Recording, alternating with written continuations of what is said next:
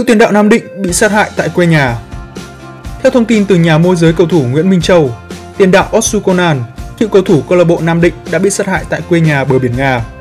Kết thúc giai đoạn lượt đi của giải vô địch quốc gia Saudi Arabia, Conan trở về quê nhà đón Tết cùng gia đình và thảm kịch đã xảy ra.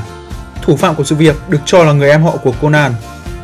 Otsu Conan gia nhập câu lạc bộ Nam Định vào đầu mùa giải 2021. Anh ghi 7 bàn sau 10 lần ra sân tại V-League.